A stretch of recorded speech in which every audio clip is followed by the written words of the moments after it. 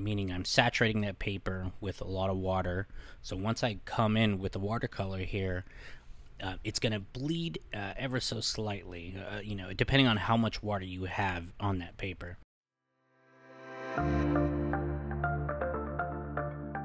Alright guys, today I'm going to give you three tips on how to use watercolor uh, more effectively um, and kind of understand what's going on. So we're going to do uh, one sample on dry paper. This is on a, uh, I believe a cold press watercolor paper. And we're just going to do, uh, get the watercolor and put it on the dry watercolor paper. And we're going to show you what that looks like. Now you see how when I'm putting down that color, uh, it has those hard edges. And whenever you stop, see at the, the edge of those, it's gonna it's gonna keep those hard hard edges, those sharp edges. Now what I'm doing here is I'm waterlogging the paper, uh, meaning I'm saturating that paper with a lot of water. So once I come in with the watercolor here, uh, it's going to bleed uh, ever so slightly, uh, you know, depending on how much water you have on that paper.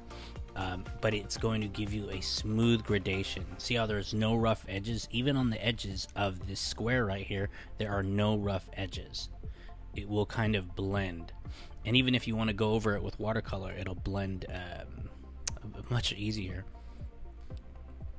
And so now you see the difference on dry paper and on wet paper. Which one looks like a smoother gradation to you? Now, to add sharp details, you're going to want to wait for the paper to dry. If you want to add a darker value or if you want to add detail, you have to wait for that watercolor to dry.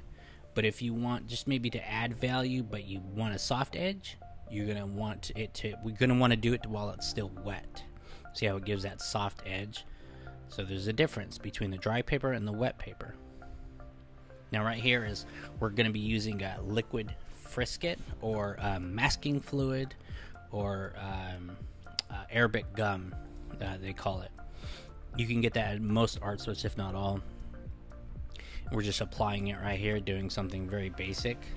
And these are just very thin layers, guys. Now we're to add on some uh, watercolor. And this is just uh, watercolor on dry paper. Um, and we're to show you what this is gonna look like. And you can really saturate this, like nothing's gonna get through that uh, frisket. So I just wanted, I wanted to have some uh, sound so you can hear that. Kind of got have to put some pressure on it. Look at that. So clean. I I just uh, did that, you know, halfway, so you can be much neater with it. And here it is, the, the Pebeo, I believe is how you say it, the drawing gum or liquid frisket or a masking fluid. You can get that at any art store. That's very useful if you don't want to mark the paper, if you want to uh, keep it clean. And there's the gum Arabic right there. You can also get that in most art stores.